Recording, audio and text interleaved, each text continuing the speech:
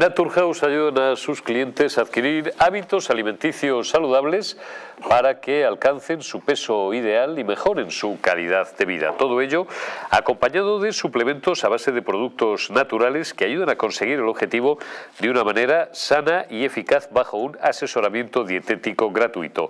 Dispondrán de un programa de cita regular y gratuito con un nutricionista que hará un seguimiento de su caso de forma permanente.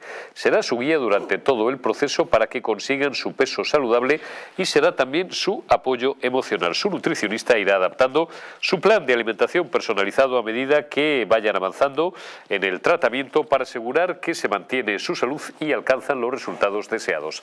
Pidan cita en su centro más cercano o pidan también, la pueden pedir online en www.naturhaus.es y recuerden, si llaman al 91 833 1335 o se pasan, si viven en Madrid, por Juan Bravo 55, pues allí les regalarán un test eh, de forma absolutamente gratuita, claro, por eso se lo van a regalar, de intolerancia alimentaria. Como les digo, para más información visiten eh, Naturhaus en su centro más cercano o en naturhaus.es. No sé si tenéis, tienes eh, Ainara, tenéis el, cartón que os acabo de pasar y si no, quiero, quiero escuchar en este punto, hemos oído, luego os pido el, cartón, porque ya que hacía referencia Dalmao a las encuestas, pues bueno, una por lo menos ilustrativa, ¿no? la, de OK Diario, que sirva como muestra, como muestra un botón. Vamos a, ponerle a nuestros espectadores el total de Pablo Fernández. Hombre, eh, Iglesias, pues era como muy enfático, ¿no? O nosotros o el caos. Estaba Pablo Fernández, que es un chaval de Valladolid, que era kiosquero, un abrazo a todos los kiosqueros de España, y que no las había visto más gordas en su vida, las cosas, las circunstancias, me refiero. Quiero decir, el tío es un tío grandón, así, alto y tal, ¿no? Y ahora, pues bueno, desde hace unos años, pues está metido en la cosa política, ganando un pastonazo, sueldo oficial, tal, coche, no sé qué, en fin. Bueno, pues este tenía un tono así como un poco más ¿Cómo, les, ¿cómo, les, diría yo? Como más miau, miau, miau, miau, miau, ¿no? Porque esto ha tenido varias modulaciones. Vamos a ver, esto primero era, vamos, eh, las primeras declaraciones, que no es el paleolítico, son apenas unas semanas, de Vilma y Betty, eran eh, como que esto de que Yolanda nos va a quitar a nosotras, que pase por donde... Que, que, se, que haga como que se cae y que nos vaya haciendo, haciendo una carantoña. ¿no? Después, eh, claro, cuando vieron que la, el suflé empezaba a crecer y que ellas se quedaban eh, a un lado, pues ya pasaron a ser un poco menos chulitas. Después que si primarias. Primero, a su vez la doña dijo que de primarias que, que, verdes las vais a segar. Ahora deja abierta la puerta que quizás tal vez, pues bueno, pues si os ponéis muy pesadas, no vosotras que no importáis nada, por muy ministras que seáis, sino el macho alfa, pues igual hacemos unas primarias. Ya saben ustedes cómo hacer esta gente de Podemos las primarias, ¿no? Que tardan 72 horas en decidir. Bueno, entonces esto lo dejamos en cómo decir decís, ¿dónde ponemos aquí el porcentaje? Y tal, tienen un follón de tres pares de narices. Pasaron los de Podemos de la chulería hacia Yolanda, a invertirse los términos. Después los de Podemos, que veían que se recuperaban un poco en alguna encuesta, se pusieron chulos otra vez. Y ahora que Yolanda de repente ha limitado, ya está tres metros por encima del suelo, ya la acaban de escuchar, en un total que no es de ayer, que es de esta mañana, de hace, de hace unas horas, y que además ha venido a decir, porque el total era más largo, y si no quieren venir conmigo, carretera y manta, pues esta mañana estaban más suaves que un guantes. Pablo Fernández, que es uno de los portavoces de Podemos. Todo el mundo sabe lo que llevamos eh, diciendo todos estos meses y nosotros no hemos cambiado la opinión.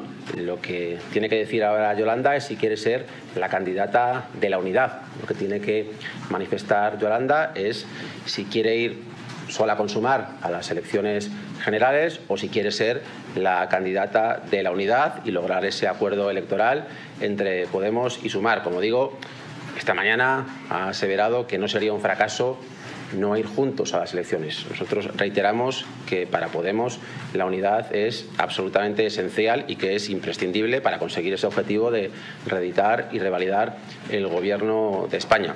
Está en manos de, Yolanda. Yolanda tiene que decidir si quiere ir con Sumar únicamente o si de verdad Yolanda quiere ser la candidata de la unidad. Nosotros, desde luego, haremos todo lo posible eh, para que se pueda alcanzar ese acuerdo electoral entre, entre Podemos y Sumar, porque reitero, y perdón por la redundancia, consideramos absolutamente crucial la, la unidad para, para revalidar el, el, gobierno de coalición de España.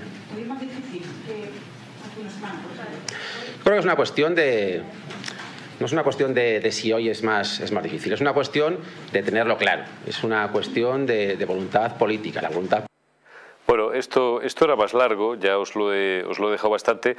Pues ¿cómo no van a querer la unidad? Si es que si no hay unidad te vuelves al kiosco, Pablo y otros tantos se vuelven pues a donde, a donde yo os diga. Cartón de la encuesta, que ha hecho antes Dalma una referencia y mira, pues a lo mejor nos viene bien. ¿Esto qué es? Esto es de hoy, esto es OK Diario. Vamos a ver. El quesito de la izquierda, eh, o el hemiciclo de la izquierda es sumar con Podemos. El de la derecha es sumar sin Podemos. Bueno, se ve un poco difuso, pero yo os lo leo. Mira, a la izquierda, sumar con Podemos. PP 134, Vox 45, PSOE 82. Pedazo de piñazo que se pega el partido del figura. Sumar, Podemos, Más País, todos juntos, todos los comunistas, todos los mugrosos, en amor y compañía, 50. Esquerra 12, a ver cuándo, por cierto, de una maldita vez cambiamos esta maldita ley electoral que permite que unos tíos como Esquerra, con representación de 600, 700 mil votos en cuatro provincias de España, tengan 12 escaños en la carrera de San Jerónimo. Es una puñetera vergüenza. Otros 27. Vale. Vamos al quesito de la derecha. Sumar sin Podemos. Pues oye, prácticamente lo que viene siendo. PP 133, Vox 43, PSOE Claro, le iría mejor sumar sin Podemos, porque antes eran 82, aquí en esta proyección que hace el diario del amigo Inda, serían 95 y Podemos por un lado, los moraditos tendrían 12, sumar más país tendría 23, Esquerra tendría 13, que más da 12 que 13, y otros 31. Bueno, eh, en el mundo, en conclusión, todos sueñan lo que son, que Pedro te vas a la puñetera oposición y Pablo Fernández, este que acaban de oír, a su kiosco de Valladolid. Mantendrían, es verdad que por los pelos, Fernando, pero mantendría la mayoría absoluta. Sí, bueno, yo creo que han sacado a Pablo Fernández porque estamos en Semana Santa, ¿no? Y no tenían algo mejor que sacar, ¿no? Y, y, y por, por, por intentar un poco estar cerca de lo que socialmente celebramos la gente de bien esta semana, ¿no?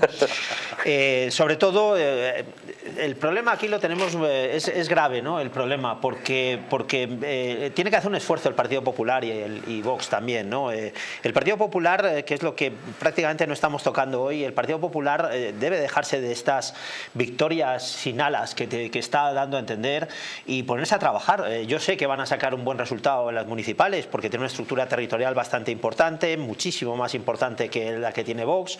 le van a comer un poco la tostada a Vox, pero las generales, ah, ojo, es que nos queda mucho tiempo y, y, esta mayoría de 176 hay que ganársela. No tanto, Fernando, no tanto. No, bueno, no tanto, no tanto, pero para ellos pueden maniobrar todo lo que quieran. Pero estos 176 escaños que son la mayoría absoluta son los que hay que ganar y hay que ganarlo paso a paso, pero, pero decididamente, pero sin ambajes, absolutamente con paso firme, ¿no? Eh, porque evidentemente lo que tenemos enfrente es todos los enemigos que quieren acabar con, con nuestros derechos y libertades fundamentales y que quieren acabar con la ley y con España. ¿no? Antes lo decía. Pero ¿cuál es el problema? El problema que tenemos en sí es que eh, Yolanda Díaz, aunque salga con este traje virginal, aunque nos saquen a Pablo Fernández, aunque salga el Bolaños, aunque salga Pablo Iglesias eh, con coleta o sin coleta, porque ya no sabemos si la rata va con coleta o va sin coleta. ¿no? Entonces, eh, no sabemos, lo he dicho por, como un chiste, no te ofendas, Pablo Iglesias. lo digo por las ratas, no por ti. Eh, el, hecho en sí es que son lo mismo, es que repito, son lo mismo. O sea, en su agenda está acabar precisamente contra todo orden constitucional, con la idea de España, antes lo, estoy diciendo todo el rato, pero el problema en sí es que ellos eh, se cambien de vestidos, se cambien de ideología, cambien de partido, el problema es que están juntos con los independentistas y ese es el verdadero problema, como tú muy bien antes estabas diciendo, Eurico. ¿Cómo es posible que Esquerra Republicana de Cataluña, que los independentistas tengan esa representación tan brutal en el Parlamento, que son los que están acabando directamente ya precisamente con todo, porque, por el apartheid lingüístico, por el apartheid que están imponiendo directamente en, las, en dos provincias españolas Ahora como vamos son a ir a Cataluña. y como son Cataluña. Ahora y ese es el verdadero problema. Ahora nos, sí, sí, sí, Fernando. Estoy totalmente Fernando y de nos acuerdo vamos a Cataluña. Con lo que estás diciendo, Tocayo, pero absolutamente. Y yo creo que esto cambió desde que Yolanda Díaz fue a ver al Papa. Sí, ¿no? Porque ya ahí, ahí le dio algo votos o alguna cosa tal porque porque ha cambiado completamente. O le dieron un. Escucha, ¿Papa? no, ¿Quién no, el Papa? Papa Francisco. No sé, se reunieron, pero vamos, me- me- no os acordé que fue a ver, no, no, no, no os acordé que fue a verla. No, no, varias, veces. No, no, bueno, sí, pero bueno. Tampoco pasa Iba- nada que le dé algo. ¿eh? Ya dije en algún medio, en otro medio de comunicación que fue a tomar Le daría un a la menta este de los árabes o algo, comunión. No, lo que voy a decir que lo que decía Fernando he estado completamente de acuerdo con él, sobre todo porque las elecciones ahora que tenemos las primeras, las autonómicas y municipales, son básicas para, para afianzar la fuerza de realmente de la que va a ganar las elecciones. Y, y es muy importante que se tenga esto en cuenta porque realmente con, eh, espero, el arrase que va a hacer el Partido Popular en los ayuntamientos y en las comunidades autónomas en el próximo 28 de mayo, eh, no se pueden dormir en los laureles, porque si pierden en las generales, no es que haya ganado el Partido Socialista o vuelva a ganar el Partido Socialista, sino es que las ha perdido el Partido Popular. Con lo cual lo que tiene que hacer toda la fuerza, es decir, y sobre todo que se dejen de zarandajas de si Vox es más extrema izquierda, más extrema derecha que, que, que no, que, sino que se una la potencia de la derecha y, de, de- los partidos liberales que hay en España, pero de una vez por todas para erradicar absolutamente lo que tenemos ahora mismo. Simplemente luego ya, ya, ya veremos cómo nos organizamos, pero sobre todo para echar que no vuelva otra vez la mugre a invadir otra, a seguir con, conti- con- continuar en, en- en la mugre que en, en España. Es Está- que inviable. Está claro. Fernando Fanego, eh, es exactamente, bueno, son tres minutos antes de la hora que tú, que tú me habías pedido y tengo, no es la primera vez que lo hago, y esto es un programa en directo, vivo, caliente, como decían en la escuela antigua, y eh, Fernando Fanego tiene que, tiene que coger un avión dentro de un ratito y ya va justo, justo, justo, así que te agradezco muchísimo tu presencia y te exhibo del resto del debate, no sin antes pedirte pues que, que pases una buena Semana Santa y que vuelvas la que viene. Pues muchísimas gracias, Eurico. Deseo lo mismo a todos los contertulios y, por supuesto, a todos los televidentes que, que cada día te siguen y que cada día son más. Un honor y una satisfacción, Fernando Un. Farego, como Feliz siempre, el, el tenerte en esta mesa. Oye, vamos a ir saludando y te pido a Eric Encinas, que está en Barcelona. Eric, muy buenas noches, ¿cómo estás? Muy buenas noches, Eurico, y también a la mesa con la que estás. Bueno, te pido disculpas como siempre porque te he tenido ahí unos minutos en el, en el backstage, como dicen los finos, en, en- en la trastienda. Eh, eh, compañeros y compañeras y compañeros de realización, mientras empiezo a hablar con Eric, podéis ir poniendo de fondo, como colas, los distintos vídeos que tenemos eh, de, las, de las agresiones y, y- y, bueno, pues de la bronca que se ha, que se ha organizado eh, durante este fin de semana en distintos puntos de Barcelona. ¿Para qué voy a introducir yo nada ni contar nada si tengo aquí a Eric Encinas que lo va a explicar mucho mejor que yo? Son carpas informativas de Vox, eh, esa concretamente creo que era la de Manresa, pero tú me, me corregirás, que han sufrido ataques absolutamente salvajes y de lo que yo calificaría de terrorismo de baja intensidad, como los han sufrido también en otras ocasiones y lo sigue sufriendo desgraciadamente el Partido Popular, Valents y bueno, Ciudadanos, como ya no sé si es nacionalista, no es nacionalista, es medio pensionista, pero bueno, Ciudadanos también sufrió mucho y durante, durante muchos años. Resúmeme lo que ha ocurrido este, este fin de semana, Eric. Bueno, este fin de semana, aparte de que estamos en plena campaña, como sabéis, de las municipales, eh, ha ocurrido algo que viene pasando también a otros partidos, dando acoso y derribo a los partidos. Esta vez, este fin de semana, ha ocurrido a, a Vox en una carpa, tanto en mi informativa, donde han sido atacados Vamos, vamos, vamos a hacer una cosa, eh, vamos a hacer una cosa, Inara. Lo, lo de hace un rato en, otra, en una grabación que estábamos, que estábamos haciendo nosotros. Vamos a volver a llamar a Eric Encinas porque es que eh, a ver si conseguimos mejorar el sonido porque, porque me gustaría que se le entendiera con total nitidez. Y mientras llamamos a Eric Encinas, vamos a poner por ejemplo, lo- la secuencia, que era la última que tenéis de fondo, de... eh, eh, por Dios, ¿quién? Ah, Juan Carlos Segura, claro, mi amigo Juan Carlos Segura, que es diputado de Vox en Barcelona, eh, en la carpa de Manresa, cuando se enfrentaba directamente a los manifestantes. Vamos a poner esa secuencia mientras volvemos a llamar a Eric Encinas. autista, con ya una concentración de gente nacionalista d'extrema esquerra, antisistema, que poden assustar els nens, nosaltres, per protegir els interessos dels menors i els interessos de les persones amb discapacitat, hem decidit provisionalment desmuntar la carpa i posar-la a un altre costat, per protegir els interessos d'aquests menors, perquè aquesta gent d'extrema esquerra nacionalistes independentistes podrien fer mal amb alguna canalla d'aquí. Amb la qual per evitar això i per interès dels menors hem decidit canviar la carpa de lloc, però ens quedem a mullar i tornarem a mullar quan vulguin i la pròxima vegada estarem aquí perquè els carrers no seran mai vostres. Els carrers són del poble català i el poble català vota Vox. Visca Espanya visca Catalunya. Bueno, no os, voy, a traducir toda la, toda la secuencia, pero bueno, el, pueblo catalán, o parte del pueblo catalán, es lo que decía al final, esto sí, le, vota, le vota Vox, eh, viva España, viva Cataluña, pero sí os voy a contextualizar porque probablemente no hayáis captado toda la esencia del momento y, mucho menos, claro, los, los, porque, porque él se dirige a ellos en, catalán y tal. ¿no? Lo que veis, hay dos carpas. Está la carpa de Vox a la derecha y está una carpa que veis que pone TEA. A lo mejor no todo el mundo, sabe que es TEA. TEA es el trastorno del espectro autista. Es decir, ahí había una carpa de unos niños que son autistas, que estaban ahí haciendo pues, lo que fuera, recogiendo firmas o lo que fuera el autismo, eh, supongo que todos sabéis lo que es. Bueno, el, hay tantos trastornos de espectro autista como personas que lo padecen, pero por regla general, imaginaros, pues, pues tienen una, una hipersensibilidad eh, muy superior a la de cualquiera de nosotros, por ejemplo, por, por un mero ruido un poco estridente, pues pueden entrar en una crisis brutal, ¿no? O por un grito, o por una situación de repente, es decir, porque bueno, tienen una diferente forma, por explicarlo más o menos y hacerlo muy corto, espero que todo el mundo sepa de lo que estoy hablando, tienen una diferente forma eh, de, percibir el, de percibir el mundo ¿no? y una diferente eh, inteligencia eh, emocional, etcétera. Entonces, claro, ahí, ahí, había críos con trastorno de espectro autista, pero estos tíos que son unos hijos de Satanás, unos canallas, unos miserables, les daba absolutamente igual y estaban dispuestos a reventar la, caseta de, la caseta de Vox, pues bueno, aunque estuviera al lado, pues, pues una, una carpita de, unos niños pues que estaban ahí pues con, con, sus cositas, ¿no? Hay que ser me voy a re porque a mí que estos me, me, iba, me iba a dar igual porque la clase de gentuza y de escoria que es, ya, ya lo veis. No sé si tenemos ya otra vez a, a Eric Encinas. Ah, tenemos a Eric ahí.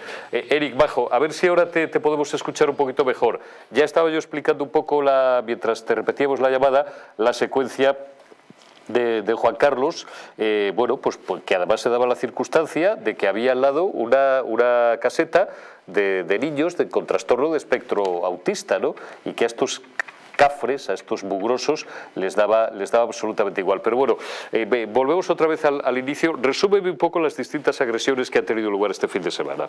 Sí, buenas noches. Como apuntabas, efectivamente, tanto en Manresa como en Vilafranca del Penedés, eh, Vox ha sido atacado, le han lanzado huevos, eh, le han insultado, han recibido empujones, un, un, militante también de Vox, un candidato a un pueblo de, que Cataluña también ha sido hospital, ha tenido que recibir atención médica en un hospital. Por lo tanto, es una nueva prueba de que la violencia política continúa en Cataluña, no ha cesado y va en aumento. Es decir, es un nuevo, estos hechos que han ocurrido este fin de semana eh, son unos hechos más que se suman a los tantos de ataques a sedes de partidos políticos constitucionalistas o también a personas líderes eh, de las o entidades eh, constitucionalistas porque la mayoría de los ataques son eh, provocados eh, por eh, radicales separatistas en Cataluña. Y esta violencia, desgraciadamente, lo que está ocurriendo es que se está normalizando ante la inacción de las instituciones o incluso la incomplicidad, ¿no? como vemos en algunos casos de las instituciones catalanas, y también el gobierno que no toma medidas para frenar estas oleadas de violencia política y que ahora se, van a y ya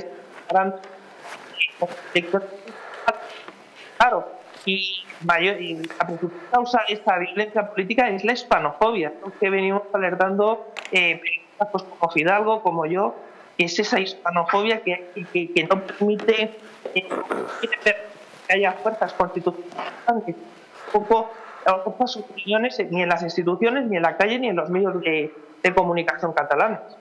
Está, está, está claro. Oye, en uno de los, de los vídeos, que era el que le estaba yo pidiendo aquí por otro lado a, a Inara, el otro que tenéis por ahí, se ve perfectamente la cara Parece ser, no sé si de la agresora o una de las, de las agresoras, es más, creo que es en ese mismo vídeo.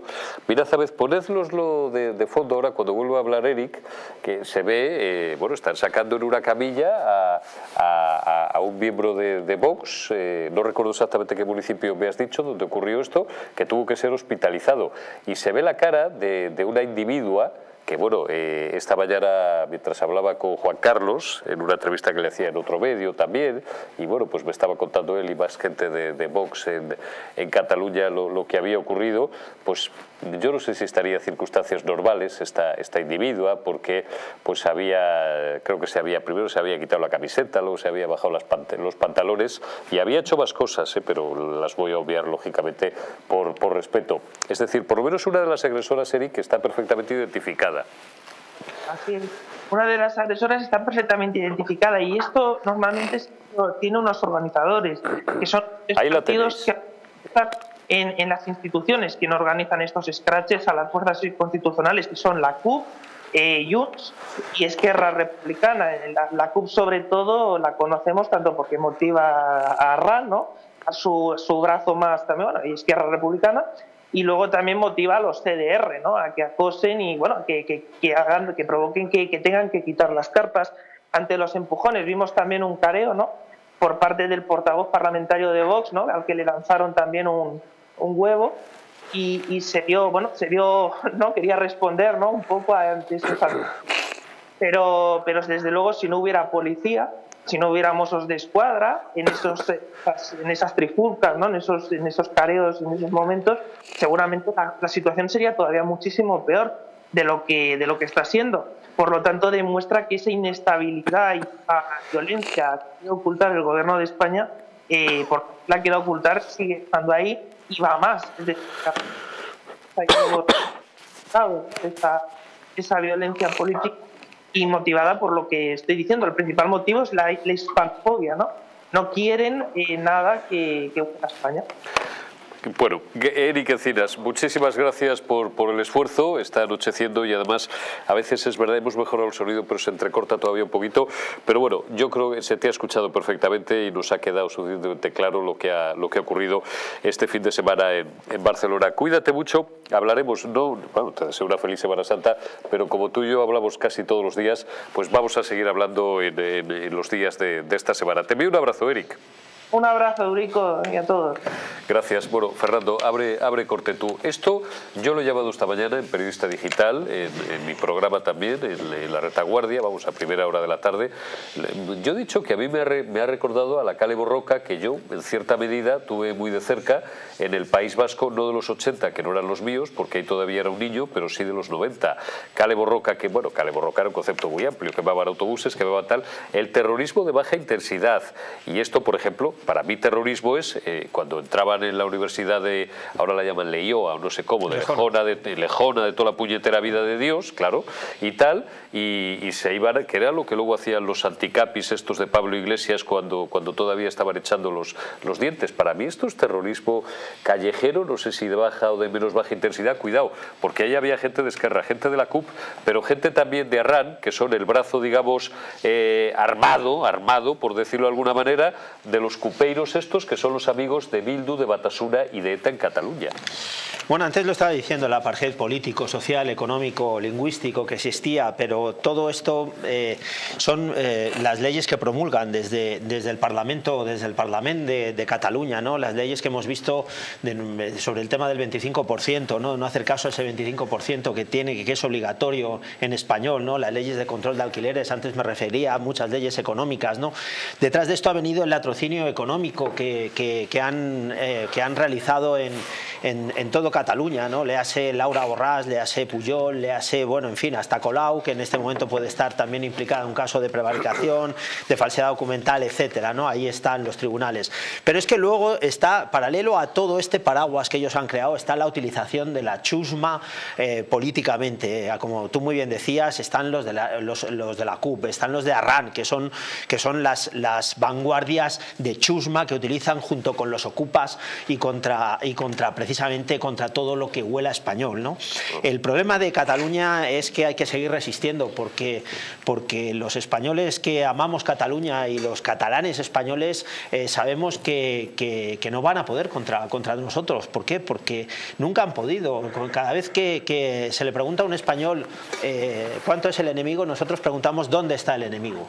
Eh, para nosotros es importante seguir aguantando, seguir fomentando todo, todo lo que signifique unión, todo lo que signifique solidaridad, todo lo que signifique unidad y, defender eh, sobre todo los valores eh, principales de lo que representa España. España ha sido una nación de, siglos de, tradición histórica y de imperio y sobre todo con una idea común que de todos los españoles y de todos los pueblos que cabían en España. Eh, hemos implantado el ius soli por todo el mundo frente a lo que podría ser el ius sanguini de esta gente, que muchos de ellos no son catalanes, repito, muchos de ellos no son catalanes porque muchos de nosotros... Son los peores eh, hombre. Decía una amiga mía, no hay peor catalán que el de Almería. Con todo el cariño los de Almería. Pero, yo, quería incidir en la utilización de esta gente bastardamente porque, porque esta gente no son más que eh, mero, mero cadena de... Chusma, de, chusma la que utilizan. Claro, es, es la misma cadena de, de, toda, de todo este apartheid que yo estaba hablando, de todas estas leyes, de todo este latrocinio que están utilizando precisamente para intentar arrinconar todo lo que representa la idea nacional. Bueno, nos vamos a ir a publicidad porque tengo ya, le voy a tener que dar paso al corte en, un minuto y luego continuamos porque quiero darle minutos también a, a Luis Bagán y Alberto Serrano. Volvemos en un instante.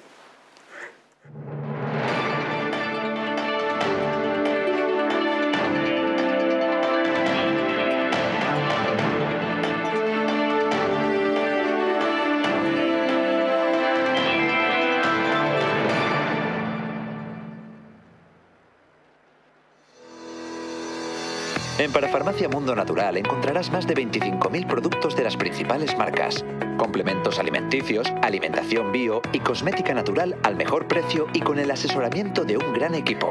Además, regalo seguro por compras superiores a 70 euros. No lo dudes. Visítanos o haz tu pedido en el 914460000 y en parafarmaciamundonatural.es.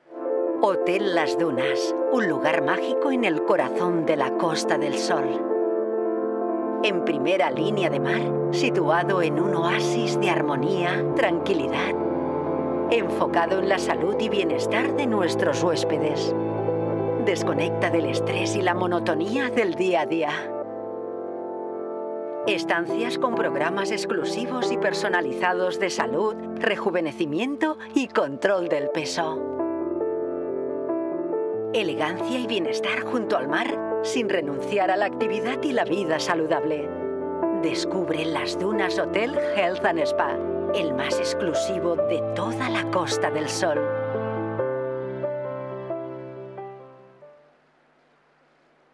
Naturhaus es el mejor método para perder peso de forma saludable y sin pasar hambre.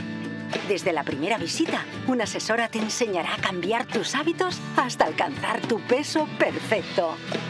Lo conseguirás gracias a complementos alimenticios a base de extractos naturales y platos deliciosos. Llame ahora al 918 33 13 35 y le regalamos un test de intolerancia alimentaria o visítanos en Juan Bravo 55 y en naturhaus.es. Apúntate ya en tu centro Naturhaus más cercano y online a través de naturhaus.es. Naturhaus, 30 años de experiencia en nutrición y dietética.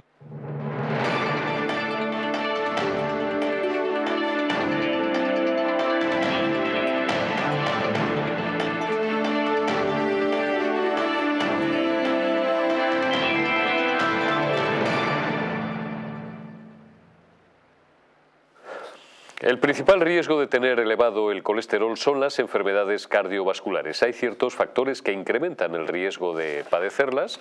Algunos no son modificables, como nuestra edad o nuestros antecedentes familiares. Sin embargo, hay otros sobre los cuales sí podemos actuar manteniendo una dieta y un estilo de vida saludables y realizando ejercicio físico con regularidad.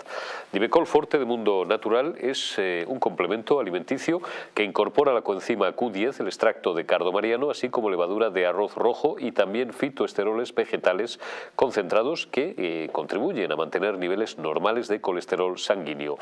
Divecol Forte de Mundo Natural de venta en parafarmacias y tiendas especializadas en el 91 446 0000 o en parafarmaciamundonatural.es. Bueno, Luis Magán, ¿a usted qué le parece? Bueno, bueno. Aparte de lo que, lo que nos puede parecer a cualquier persona de bien, pero bueno. Bueno, nos, parece eh, lo que es, es una barbaridad, pero no nos puede sorprender en absoluto, porque es que todos los días, bueno, casi todos los días, o casi todos los fines de semana, mejor dicho, en el, eh, tanto en eh, Cataluña como en el País Vasco puede suceder este tipo de cosas. Lo sorprendente, por una parte, en la dinámica de la izquierda y sobre todo la extrema izquierda es lo más habitual, es decir, están combatiendo a los fascistas, a los fascistas de Vox, a los fascistas, de, a los fascistas del PP, a los fascistas de la judicatura, a los fascistas de las fuerzas de orden público, a los fascistas de, cualquier estamento que no sean em, eh, sus acólitos. Pero em, a mí me parece que es sorprendente que esta, amenaza que, esta amenaza que dice la extrema izquierda que, que existe, eh, lo que supuestamente ellos llaman eso, la extrema derecha, son permanentemente las víctimas. O sea, que, decir que, es que nunca pasa nada del otro lado y en, cambio, y en, cambio, siempre están amenazando, ya ocurría con ETA en los 80. apedreando, eh, insultando, quemando, no sé qué tal. Bueno, eso es una parte. La quinta esencia de esto es el eh, asesinaban a un policía, por ejemplo, algo habrá hecho.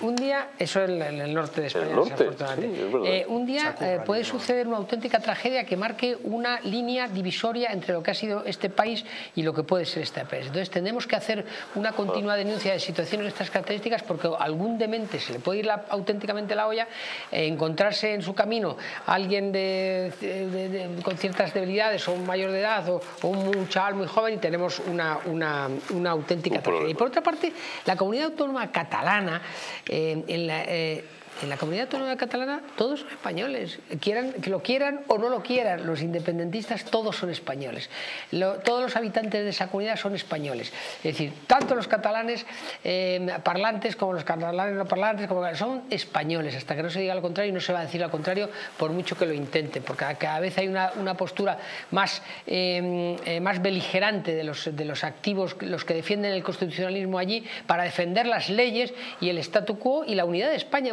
de España que si vemos las fronteras de Europa es uno de los países más estables que ha tenido en los últimos siglos y lo seguirá siendo a pesar de esta gente y a pesar del apoyo eh, que ha tenido eh, por parte del gobierno Sánchez con la derogación de leyes que les han encausado. Y por último, eh, vuelvo a repetir, es decir, estamos a escasamente dos meses de las elecciones del 28M. Esto puede, el resultado de esas elecciones puede condicionar mucho la respuesta ante estas situaciones. Por eso yo hago un llamamiento a la responsabilidad ciudadana de que ejerzan su voto adecuadamente. Eh, Alberto, coja usted minutos. Bueno, esto le ha pasado a Vox, pero le ha pasado históricamente en el País Vasco y en Cataluña, por supuesto, al Partido Popular. Le ha pasado a Ciudadanos también. Ahora le está pasando a, mis amigos, a nuestros amigos de, de. Eh, bueno, ahora se han cebado con Vox, pero puede ocurrir. Y lo relevante es lo que dice Magán, es decir, si ustedes han estado un poco atentos, eh, porque los vídeos son muy cortitos, aparte de verse a la derecha una energúmena con camiseta blanca y una bandera de colores y de estas cosas que les gustan a ellos y tal, ¿no? Eh, se llevaban como en camilla, tapado. Ese era la persona de Vox que había sido agredida.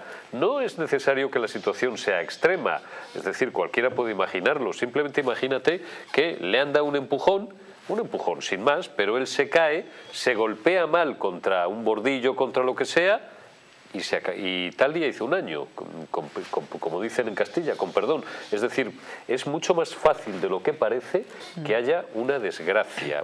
y entonces, como dice Magán, y dice bien, ese día va a ser el punto de inflexión de muchas cosas, Alberto.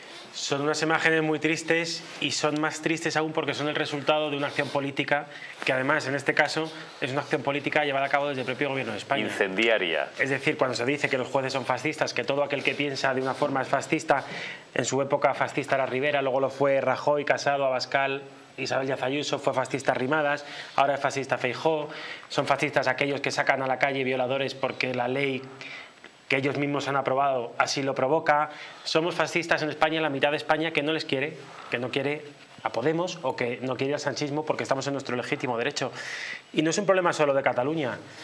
Que, bueno, podría, podría ser algo muy localizado. Es que cuando hay manifestaciones en las que propios dirigentes del gobierno de España, y en este caso me estoy acordando, por ejemplo, de la Secretaría de Estado de Igualdad, diciendo o deseando la muerte, por ejemplo, de Abascal, o en esa misma manifestación se acusa de asesina con pancarta incluida a Isabel Díaz Ayuso, pues ellos, esta gente que cobra sueldo público, está provocando imágenes como la que estamos viendo hoy en Cataluña, en el País Vasco, o me atrevo a decir que por desgracia la seguiremos viendo en los próximos meses, porque según se tense más la situación, según llegue la tensión electoral y según la, izquierda esté más, bueno, no maniatada, más arrinconada, perdón, por la sociedad española, porque la sociedad española le ha dado a la espalda, pues lo que va a provocar es que se embrutezcan sus acciones y en vez de tirar por la parte política, pues irán por la vía de la, de la agresión política, verbal o incluso en la calle, no ellos, claro, mandando a quienes tienen que hacerlo, porque ellos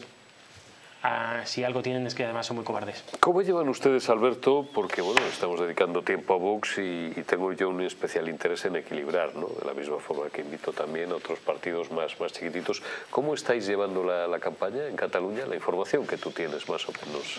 Yo creo que en Cataluña el Partido Popular, y no es cuestión de esconderlo, estaba, todos lo sabemos, estaba con respiración asistida. Creo que el Partido Popular en Cataluña eh, bueno, va, va, a crecer.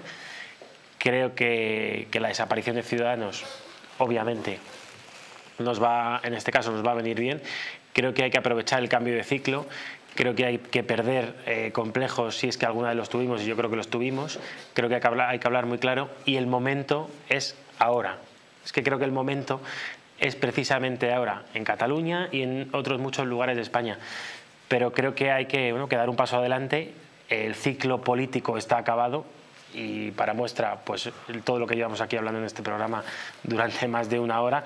Y como el ciclo político se ha acabado hasta ahora había dos partidos políticos en el gobierno que se pegaban entre sí, ahora también lo han dicho algunos dirigentes nacionales políticos, hay tres, porque lo que ahora estamos viendo es que de facto hay tres partidos políticos en el gobierno, todo eso va a implicar que las preocupaciones de los españoles se van a dejar de lado, en Cataluña por supuesto, y en otros muchos lugares, y por lo tanto creo que, le toca al Partido Popular eh, dar ese paso, creo que ya se ha dado, y, darlo sin complejos y sin ningún tipo de excusa.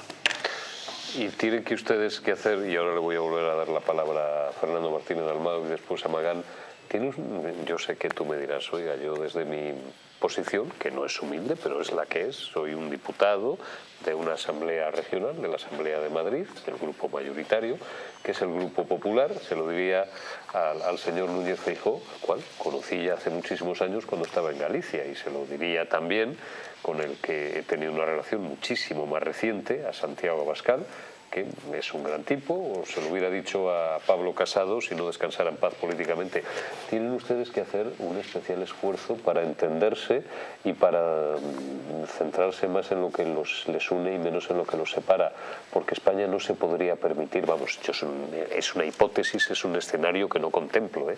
o sea, es que no lo contemplo, porque además ni los votantes de Vox ni los votantes del PP se lo perdonarían que no se entendieran y volviéramos a tener cuatro años más esta maldita desgracia de estos canallas, de estos miserables políticos que nos están llevando no solamente al sumidero económico, sino al sumidero como nación, al sumidero político, al sumidero institucional y que además están promulgando a cascoporro Fernando, y luego podemos abundar mínimamente porque esto es como la lluvia fina, tiene que calar leyes que no es que sean contra natura, leyes absolutamente aberrantes. Pero bueno, le, he hecho la pregunta a don supongo que al final ese acercamiento y esa fluidez tendrá que existir. Sí, yo creo que el entendimiento, si es que los españoles deciden que nos tenemos que entender, tendrá que ocurrir y yo no seré quien diga la fórmula que, tendrá que hacer porque no me considero en ese sentido ningún tipo de más, autorizada. Exactamente.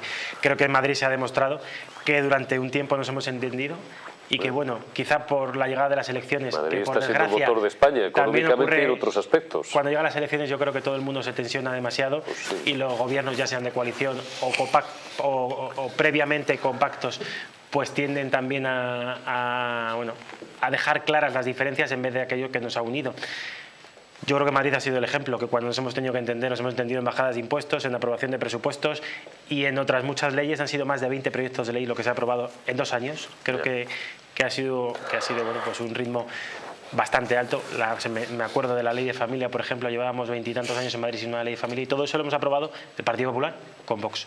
Es cierto que a lo mejor luego la gente se lo olvida y no termina de trascender no, al final lo que a mí me fastidia, Alberto, es que va a quedar el lío al final de los presupuestos sin, sin volver, porque hemos hablado decenas, decenas de veces en esta mesa, no siete ni yo, no. Al final siempre terminamos hablando en los últimos tres meses después del lío de los presupuestos y alguna cosa Incluso después de ese lío que dices tú de diciembre, se han aprobado leyes ya, ya. PP junto con Vox. Es cierto que, bueno, que yo creo que Madrid ha sido el ejemplo de entendimiento, que no se ha podido llegar hasta el final, pero creo que, si, que los ciudadanos evidentemente no entenderían que no nos entendiéramos. Dicho esto, obviamente, si hay que elegir, pues yo prefiero un gobierno en solitario un gobierno Bueno, ya, ya, porque es lo que tienen que decir ustedes todos eh, porque viene el argumentario de campaña, pero... Bueno, y, no, perdona, que te he cortado. No, que yo creo que, que, políticamente, obviamente, si me preguntan a mí, o en Arganda del Rey prefiero gobernar en solitario, eso es así. Ya, bueno, claro, claro. Luego tendremos que, que, entendernos pues con lo que nos dé los ciudadanos. Cualquiera. Eh, Fernando, pista libre la que quieras, pero desde luego sería una puñetera catástrofe volver a tener cuatro años a estos mugrosos en el poder. No se puede tener a esta gente ni un día más, no cuatro años, ni un día más. Pero aquí el problema que tenemos que el Partido Popular también tiene que hacer propósito de enmienda, porque hemos vivido en Cataluña el pacto del Majestic, entregar lo que era la hacienda y entregar el dinero a los independentistas. Todo esto en virtud a un apoyo político. Una política de tolerancia con convergencia, cuando todo el mundo sabíamos que convergencia estaba robando a manos llenas eh, todo lo que cogía y además estaba prevaricando directamente con las diferentes leyes que estaba aprobando desde el Parlamento en contra de todo lo que representara la unidad nacional. Y por otro lado también estaba tolerando o blanqueando lo que representaba el independentismo, haciendo gracietas diciendo que se hablaba catalán en la intimidad, como, como bien le pasaba a José María Aznar. Y esto siendo un gobierno que ha sido de los más importantes que hemos tenido en España. Pero es que esto el Partido Popular no puede repetirlo, por eso tiene estos resultados. Porque en Cataluña y en Barcelona y en, Tarragona y, en Gerona y, donde, donde vamos, el Partido Popular eh, no es que no haya hecho los deberes, es que, es que ha, ha destrozado precisamente muchas de las cosas con, estas cosas. Porque esto no se puede tolerar, esto cualquier catalán no lo, puede mirar, porque esto ha sido el inicio de, la decadencia de Cataluña. Y aquí tenemos que, ser muy serios en todo esto, porque en la política nacional nos va todo. Repito, en la política nacional nos va todo. Y el Partido Popular en este momento lo que tiene que hacer, y junto con el resto de los partidos políticos, es hacer propósito de enmienda, porque hace cuatro días también había, no existía el Partido Popular con Casado. Eh, no nos olvidemos de eso. Es que tenemos estamos a unas elecciones vistas donde el Partido Popular hace cuatro días estaba a punto de desaparecer. Entonces, en este momento, de, verdad, el, propósito de enmienda de todos los españoles, repito, de todos los españoles, tiene que ser eh, directo contra los que representan la ruptura de la nación y contra los que representan la ruptura de nuestros derechos y libertades fundamentales. Bueno, en eso tienes razón, pero bueno, ya veremos lo que dicen los españoles. Eurico, la realidad eh, es aquello que no solamente eh, decide nuestro deseo, es decir, eh, nuestro deseo realmente sería que en las próximas elecciones y en las siguientes, pues los españoles fueran conscientes todavía mucho más de la situación en la que vivimos y dieran su respaldo a posiciones que enderezaran la política tanto local, internacional, eh, perdón, tanto nacional como internacional de este país, pero no sabemos lo que va a suceder. Es decir, las encuestas, las encuestas se equivocan mucho. Es decir, os quiero recordar algunas encuestas recientes que han cambiado la historia de este, de este continente, es decir, la del Brexit. Por ejemplo, el Brexit mm. nadie podía imaginar que saliera triunfante y salió triunfante. No, eh, eh, la, misma de, la, victoria de Trump nadie la daba por hecho. Es decir, Trump fue una victoria absolutamente inesperada incluso no sé si Por no hablar de las mariposas de Florida, recordad, en el año 2000. Son muchísimas. Entonces las encuestas no, no, tenemos que tener... o sea, la, principal encuesta la vamos a tener, vuelvo a repetir, en las elecciones, próximas elecciones locales. Y mirad en Finlandia, por ir algo más cercano, el, también los resultados han sido sorprendentes para algunos. ¿Cuál? Perdón, la de, ah, de Finlandia. Sí, sí. Bueno, no, pero en Europa está girando. Salvo, bueno, la caída de, bueno, cuando desaparece Merkel, viene un gobierno eh, de, eh, de coalición también en, Alemania, pero a partir de ahí todas las elecciones, casi todas las elecciones en Europa, se han dado resultados que favorecen al, centro derecha. Italia tenemos un partido que aquí les, les, identifican con, también con Vox y con la extrema derecha, pero tenemos el caso de Suecia, el caso de Finlandia, el caso de los Países Bajos, con la confirmación de los partidos de, gobierno que son de centro derecha. Perdona, y en Francia, ¿por qué iba Lotás? Que yo creo que está concebido para eso, porque si no llevaría años pues, eh. pues, pues con serias opciones de gobernar o gobernando. Pero yo ahí veo lo importante son las políticas eh, perdona, que, no más que cortar a la Agenda 2030. que la culpa la tengo yo. Por eso eh, yo creo que, lo que hay que pedir fundamentalmente al gobierno que salga, los gobiernos locales y autonómicos que salgan del 28M y, los gobiernos, y el gobierno central, el gobierno nacional que salga de las elecciones de finales de año, principios del año que viene, es que miren al presente y que, y que sueñen con el futuro para construirlo. Es decir, no podemos estar mirando y perder, perder el tiempo en, políticas identitarias, políticas de memoria histórica, políticas de, valoración, que, de respeto total, pero de valoración exagerada de las minorías. Tenemos que mirar en un mundo tan complicado como el que tenemos, que tenemos en la esquina una guerra que todavía, os quiero recordar que todavía existe ahí, y por cierto, paréntesis, en, en la intervención de ayer de la señora Yolanda Díaz mm, no mencionó Ucrania, y yo no creo, y yo creo que no mencionó Ucrania, Ucrania para, exacto, no, para no liarse y, para, y porque no sabía lo que decir y porque mucha de la gente que le vota puede que tenga posiciones muy Putin muy distintas, muy, muy, cercanas a Putin. Cierro paréntesis. Quiero decir, es un mundo en el que vamos y lo decimos semana tras semana, que es un mundo que va tan absolutamente acelerado, en el que tenemos unos unas em, eh, eh, unas eh, unos, políticas que tenemos que desarrollar para que las generaciones jóvenes, las de nuestros jóvenes y las de nuestros más jóvenes y tal, se enfrenten a un mundo que va a ser radicalmente distinto y radicalmente em, complejo, es decir, un mundo que estamos viviendo que va de adversidad en adversidad. Pasamos de la crisis de, económica del 2008-2013 a la, a la pandemia, el COVID, a la guerra de Ucrania y vete tú a saber lo que hay. Entonces tenemos que pedir eso y luego un gobierno que en política nacional consolide algo que es lo evidente y que en otros países es que ni pierden un minuto, que es la unidad nacional, el idioma para todos los que somos ciudadanos de este país o que em, eh, tengamos presencia en las instituciones más allá de lo que Sánchez dice eh, eh, representar. Entonces, em, es una responsabilidad colectiva. Nosotros podemos estar criticando permanentemente al gobierno, pero si no tenemos una respuesta de la nación española, del pueblo español, de los ciudadanos españoles, de los votantes españoles, ante estas situaciones que vivimos, poco podremos hacer. Fernando. No, suscribir absolutamente todo y yo apuntaba antes que, evidentemente lo importante no son los partidos, son, son, un instrumento, lo importante es hacer las verdaderas políticas contra la Agenda 2030 y la 2050, a, apoyar precisamente todo lo que es nacional, desde la natalidad, la economía y la unidad nacional, apoyar absolutamente todo lo que representa para el individuo las mayores cuotas de libertad que, ha conseguido y, evidentemente defender nuestros derechos frente a naciones extranjeras que puedan, que puedan eh, incidir directamente sobre nuestra nación. Todo esto se llama un proyecto común que no solamente lo tiene España, lo tiene Europa y lo tiene el resto de la, civilización occidental. Esto es lo importante. Se lo digo no a don Alberto, que es político, pero no quería volver a cortar por enésima vez a, Magán, que bastante paciencia tiene conmigo, se lo digo a Luis y se lo digo a Fernando. ¿Ustedes creen realmente que los políticos están en esto?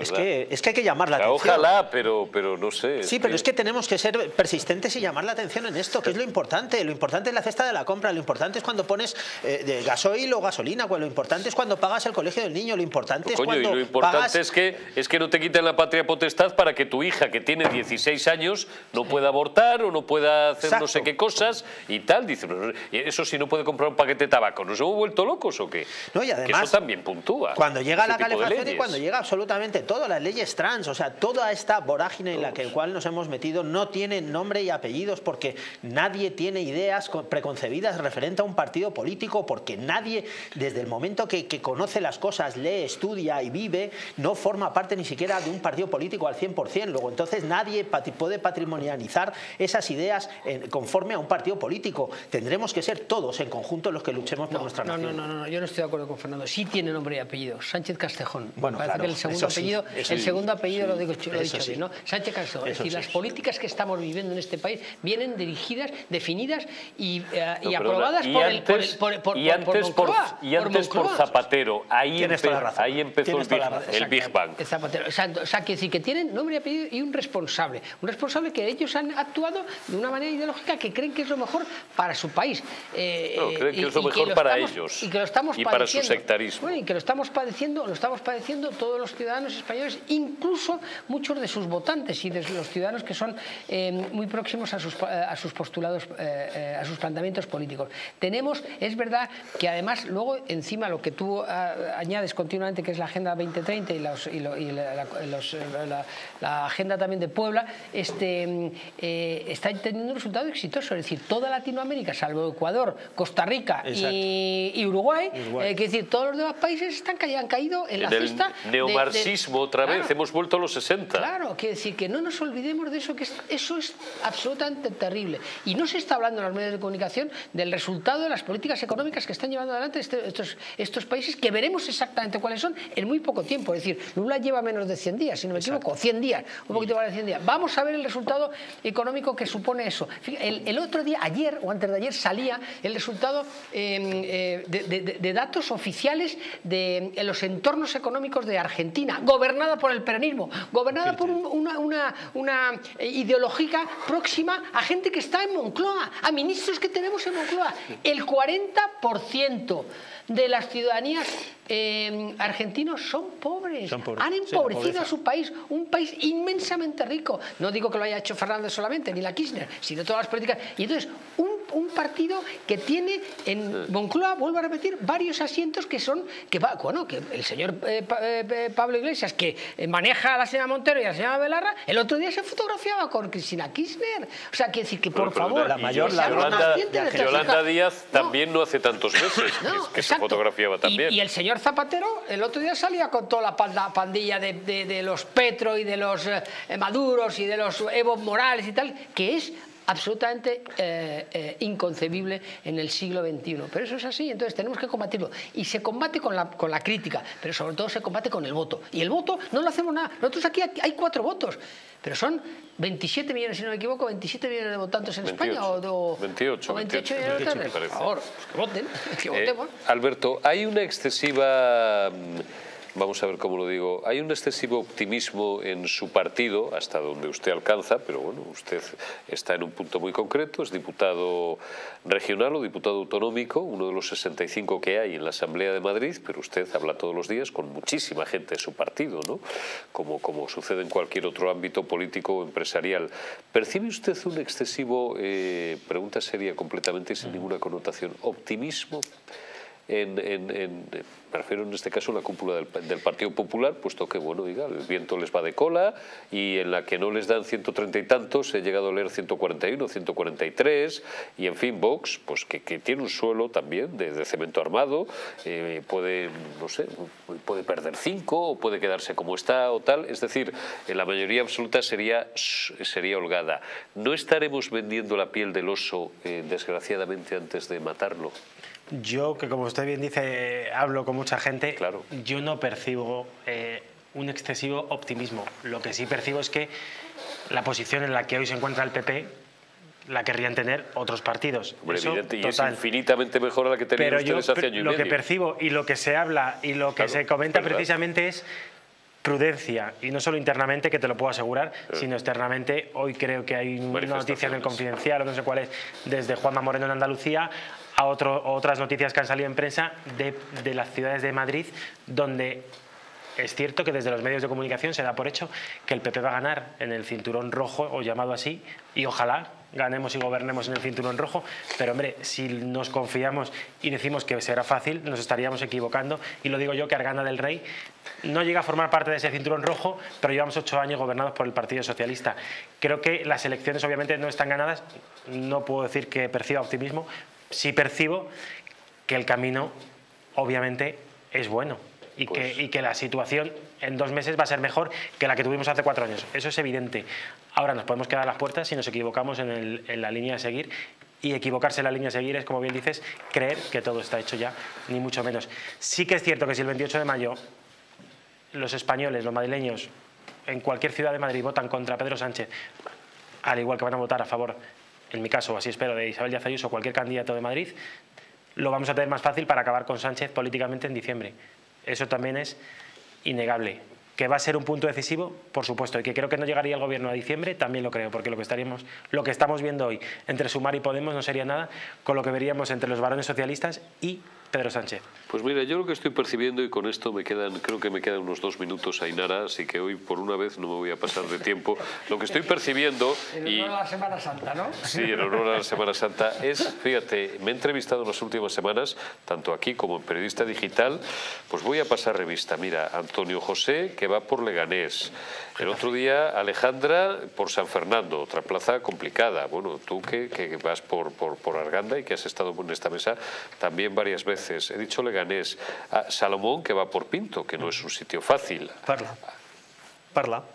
Parla, Parla no es un sitio fácil, Almudena Negro, que va por Torrelodones, que ahí gobierna una marca blanca del PSOE, según me han explicado, no conozco muy bien Torrelodones. Ah, hombre, y Getafe, Getafe, otro sitio. Getafe Antonio José, que has dicho. Getafe Antonio José. Leganés Miguel Ángel. Vale, y, Leganés Miguel Ángel, perdona, efectivamente. Eh, eh, claro, sí, lo he, dicho, lo he dicho al revés. Antonio José en Getafe que, va, está, además tiene una cabeza, me, encanta, me encanta porque tiene las ideas clarísimas y, también, eh, y también Miguel Ángel en, Leganés, que son sitios todos ellos muy complicados. Estoy seguro de que el 28 de mayo eh, y alguno dirá, ya está el PP. No, no, si yo lo que quiero es que cambien las cosas. Y si necesitáis gobernar con el apoyo de Vox, pues gobiernese con el apoyo de Vox.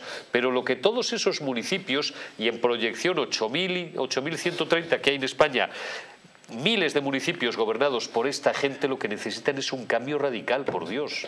Eso para empezar, por la administración más cercana al ciudadano. Y luego ya, en diciembre, por favor, barrez, barrez a, estos tíos de, una vez. Bueno, ahora sí que ya estoy fuera de tiempo. Estaba yo haciendo un poquito... ¿Cómo se ríe Luis?